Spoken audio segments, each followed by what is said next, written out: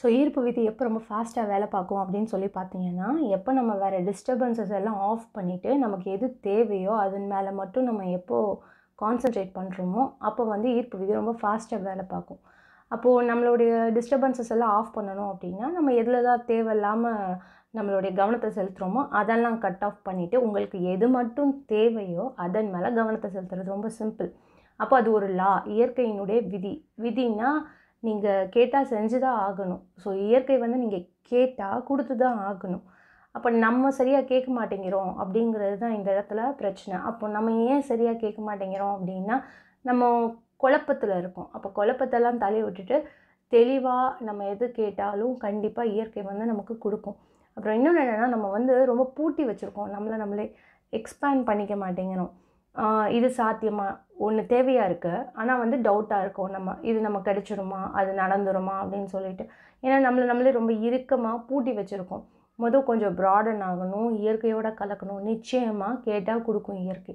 இன்னொன்று மூணாவது முக்கியமாக விஷயமா என்னென்னா நன்றி இல்லாமல் இருக்கும். அப்போ வந்து நீங்கள் எதுக்கெல்லாம் வந்துட்டு உங்களுக்கு வாழ்க்கையில் எதெல்லாம் கிடச்சிருக்கோ அதை பற்றி முதல் நன்றி உணர்வாக இருக்க ஆரம்பிங்க. அப்போனா தான் நமக்கு எவ்வளோ கிடச்சிருக்குன்னு உங்களுக்கு தெரியும். இயற்கை ஏற்கனவே நம்ம கேட்காமலே நிறைய கொடுத்துருக்கு. அப்போது வந்து இன்னும் நமக்கு என்ன தேவையாக இருக்கோ அப்போது வந்து உங்களுக்கு அது கிளியராக புரிய ஆரம்பிக்கும். அப்போ நன்றி உணர்வு அப்படிங்கிறது ரொம்ப முக்கியம். உங்களுக்கு அதில் நன்றி சொல்லி பழக்கம் இல்லை. அப்படின்னா முதல் நன்றி உணர்வை வந்து எழுத ஆரம்பிங்க. நீங்கள் இதுக்கெல்லாம் இது வரைக்கும் எதுக்கெலாம் நீங்கள் வந்து நன்றியாக இருக்கீங்கங்கிறத எழுத ஆரம்பிங்க. அப்போ வந்து உங்களுக்கு வாழ்க்கையில் எவ்வளோ கிடச்சிருக்கு அப்படிங்கிறது தெரியும். அப்போது எ எனக்கு பெருசாக வீடு எதுவும் கிடைக்கல பெருசாக எதுவும் நடக்கலை அப்படின்னாலும் பரவாயில்ல. நான் வந்து இன்றைக்கி உயிரோடு இருக்கிறதுக்கு நன்றி. எனக்கு வந்து இன்றைக்கி சாப்பாடு கிடைச்சதுக்கு நன்றி. அப்படி சொல்லிட்டு சின்ன சின்ன விஷயத்தையும் நீங்கள் பதிய வைங்க. அப்போனா தான் உங்களுடைய பிளெஸ்ஸிங்ஸை வந்து உங்களால் கவுண்ட் பண்ண முடியும்.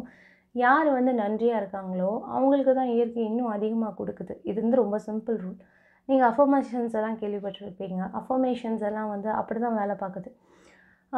ஒரு விஷயத்தை திரும்ப திரும்ப சொல்கிறது அப்புறம் நன்றியை சொல்கிறது இதை பற்றி தான் அவங்க வந்து நிறைய சொல்லியிருப்பாங்க அஃபர்மேஷன்ஸில் அப்போ ரொம்பவே மூணு சிம்பிள் ரூல்ஸ் என்னன்னு சொல்லி பார்த்தீங்கன்னா லா ஆஃப் அட்ராக்ஷன் உங்களுக்கு ஃபாஸ்ட்டாக வேலை பார்க்கணுன்னா நீங்கள் வந்து கரெக்டாக கேட்கணும். அப்போ கேட்குறதுல நம்ம ஏதோ தப்பு பண்ணுறோம் இயற்கை எப்பவுமே கொடுத்துட்டே தான் இருக்க போது நம்ம சரியாக கேட்க மாட்டேங்கிறோம். அப்புறம் மூணாவதாக நமக்கு நன்றி உணர்வு இல்லை. இதை மூணையும் சரிப்படுத்திட்டீங்க அப்படின்னா ரொம்ப ஃபாஸ்ட்டாக நீங்கள் கேட்குற எல்லாமே வந்து கிடைக்கும்.